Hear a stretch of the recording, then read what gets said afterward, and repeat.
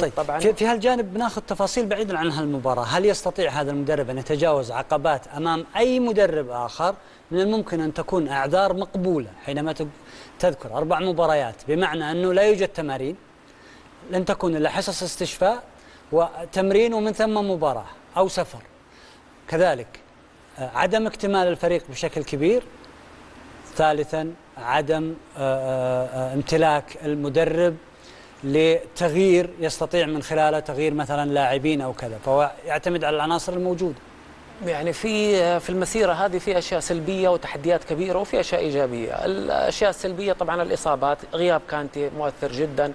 آه يعني غياب روما الآن مؤثر جدا روما من اللاعبين. لما يغيب فترة فبينه ويرجع أكيد إنه يحتاج إلى وقت رغم إنه صنع الهدف اليوم وصنع الفرصة. لكن آه المدرب الكبير يقبل التحديات يقدر ياخذ أشواط يقدر في خلال فترة قصيرة وهو ذكر هذا الشيء يقدر خلال فترة قصيرة إنه يحاول يسارع خطوات التعديل وتأهيل اللاعبين. التدوير صعب جدا في هذه المرحلة أنت نص وقتك في العشر أيام في الطيارات يعني ما بين كمان آسيا والقدوم وداخل جدة وخارج جدة.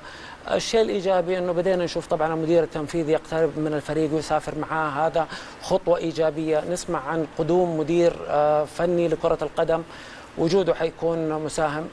ما نقدر نغفل برضو الأجواء الإدارية المشحونة حول الفريق في هذه الأيام بالتصريحات والخروج عن المألوف هذا يخرجك برا الملعب. مهمة المدرب كبيرة في في جهد كبير شايفه مع المدرب بقيمته الكبيرة مش فنيا كمان. محاولة يعني التواصل مع اللاعبين بشكل جدا قريب. محاولة نشر الجو الصحي داخل غرفة الملابس. صرح تصريح جدا جميل تصريحاته مميزة. المدرب لما يقول لك أنا مطلع على سلوكيات ومستويات اللاعبين لكن أنا من الآن التحدي في الأمام ما حانظر للخلف. تتفائل رغم كذا طبعا الاتحاد له تحديات قائمة وحننتظره. الاتفاق بالمقابل طبعا أخويا أقرب وأعرف بنادي الاتفاق. لكن الفريقين مروا في الفترة الماضية بهبوط في المستوى. اليوم كان تحدي كبير للفريقين مباراة كانت جدا كبيرة. جميل. الاتفاق يسعى للعودة إلى مكانته وبداياته وانطلاقته والاتحاد يسعى لمكانته المعهودة.